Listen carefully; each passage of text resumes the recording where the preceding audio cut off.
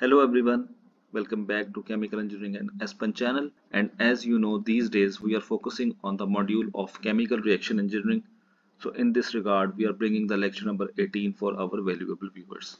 So in today's lecture or from today's lecture we will be moving to the building block number 4 which is isothermal design.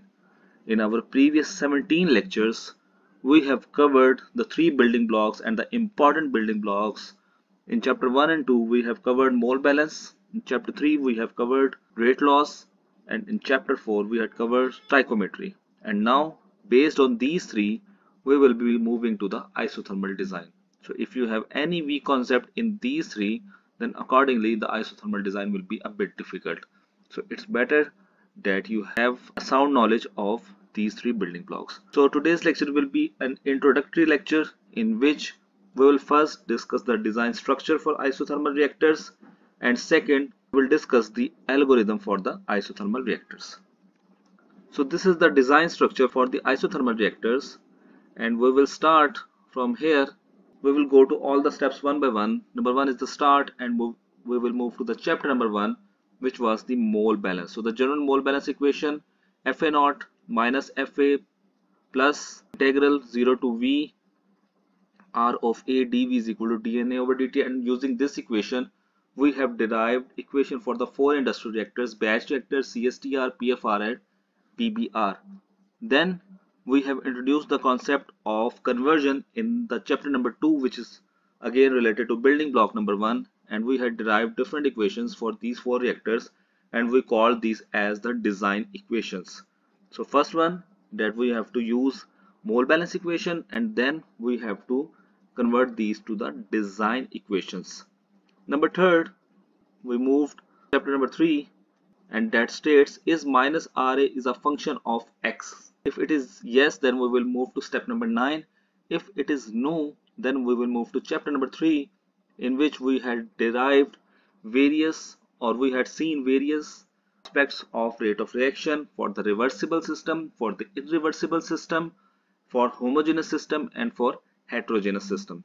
So accordingly, we will be representing one equation over here that minus R is equal to K C of A C of B minus C of C over capital K which is the equilibrium constant. Then we will move to chapter number 4 which is stoichiometry. So use stoichiometry to express concentration as a function of conversion and if you remember we had derived different relation liquid phase or constant volume batch CA is equal to CA naught 1 minus X CB is equal to CA naught theta B minus B over A into X and if it's a gas phase for constant temperature because we are discussing the isothermal reactors in the system so T is equal to T naught. However it is not mandatory that P is equal to P naught. Accordingly it will become C is equal to C naught 1 minus X over 1 plus epsilon X into P where P is the ratio of pressure. This is the step number 5 moving on to step number 6 that gas with P is equal to 1 that if there is no pressure drop in the system then what we need to do we need to go to the step number 6 that gas with P is equal to 1 or liquid combine steps 4 and 5 to obtain minus RA as a function of X. Why we came to step 4 and 5 because minus RA was not equal to function of X. So using 4 and 5 we got to this point yes point and accordingly we move to step number 9. I hope that is now clear to you. However, if there is a pressure drop in the system, we have to include that pressure drop terms in the system and accordingly the chapter number 5 which we will be studying now will be helpful for us.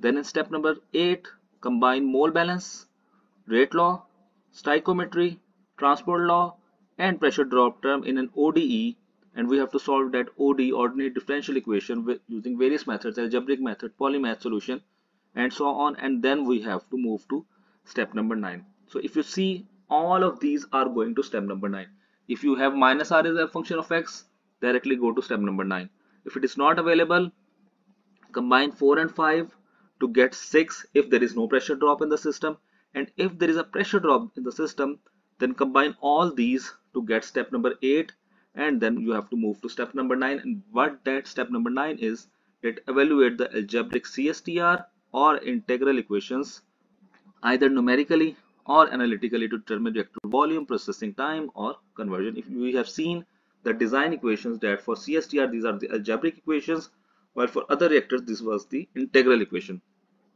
so accordingly we have to solve these to get the required design parameters like the reactor volume processing time or conversion and then it is the end so this is how the overall design structure is comprised of nine important factors.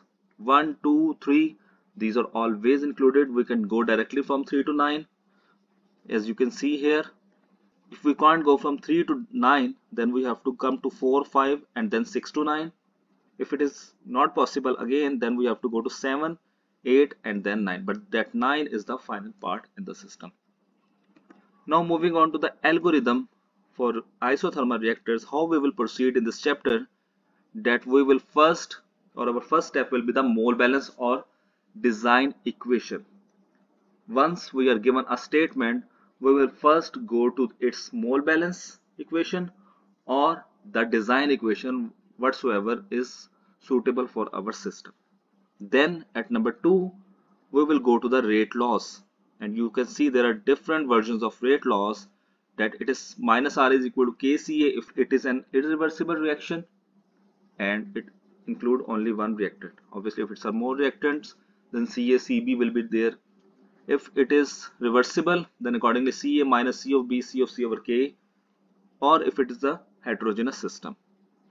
Then we will move to the stoichiometry and we will see whether it is a batch system or flow system.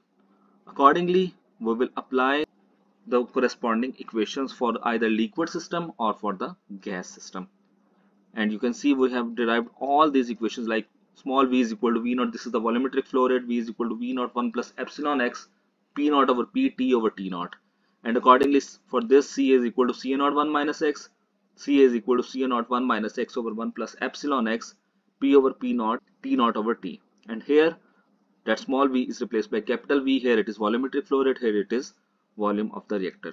Once we have done these three steps like we have written mole balance for the specific reactor accordingly written the rate law and using the suitable stoichiometric equation we have to combine all these three and according from mole balance from rate law from stoichiometry and then we get this ordinary differential equation which we have to evaluate and how we can evaluate by integrating for the batch for the PFR or for the PBR however for CSTR it will be an algebraic equation so it will be comparatively easier to solve.